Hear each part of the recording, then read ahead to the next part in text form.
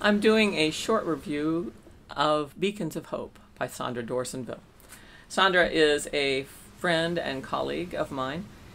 And in this book, she shines the light on two groups that have been behind the lights, literally.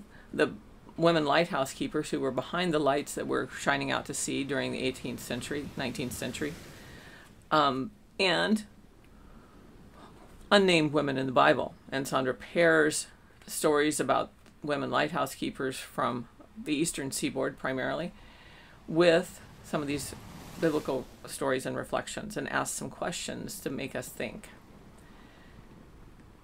Being behind the scenes, being behind the lights, means you're often not recognized, not appreciated, or unknown. So Sandra is asking us to step out of what we know and look at some of the people we had no clue about and see how we are missing that in our own lives today.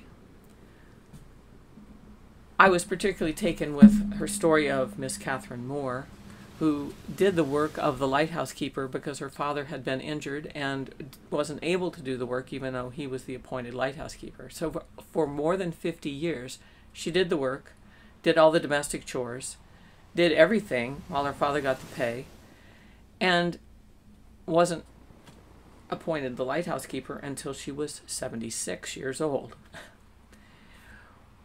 How many other people are we not seeing, not appreciating, not knowing, and recognizing?